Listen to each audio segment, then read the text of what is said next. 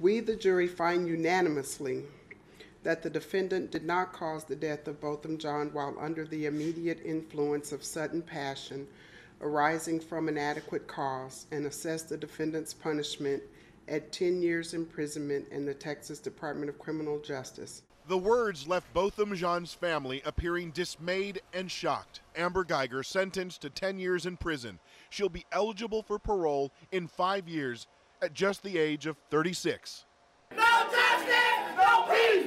No justice, no peace! No Outside the courtroom, the sentence angered protesters, sparking chants. The police department around the country So has unfair, done to so our people. This is not a joke. This is our lives. But at the same time, inside the courtroom, a dramatic scene was unfolding. I forgive you. Botham Jean's 18 year old brother, Brandt, spoke directly to the former Dallas police officer who killed his brother.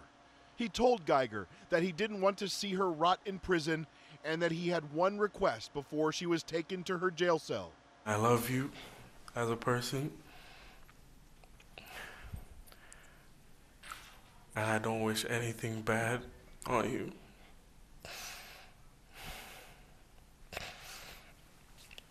I don't know if this is possible, but can, can I give her a hug, please? Please? Yes.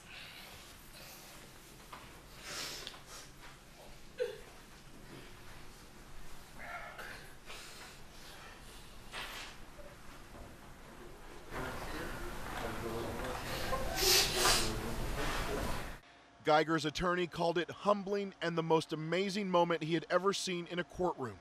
The emotion lingered long after the case ended.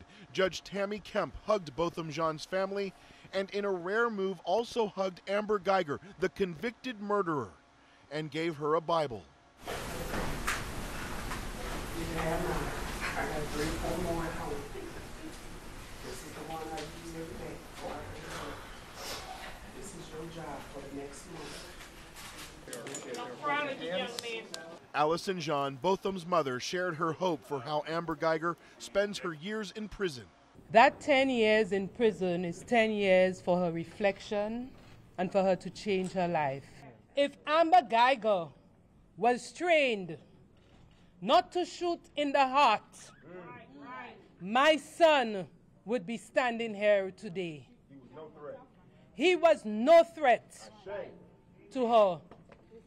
He had no reason to pose a threat to her because he was in his own apartment, in his sanctuary,